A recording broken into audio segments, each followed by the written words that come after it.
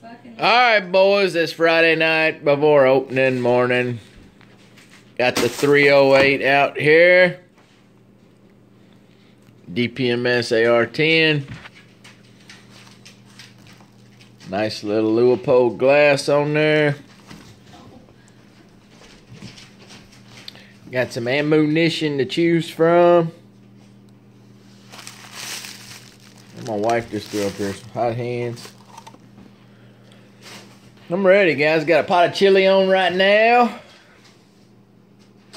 The wife says she's getting up in the morning. We'll see if she does. I hope she does. She's planning on taking my AR with some Federal Fusion. If you're going hunting in the morning, be safe. Have fun. Hope you got a nice rig like this that I've got to take. We'll see you around, fellas and sisters. Oh, we'll get some white-tailed hares.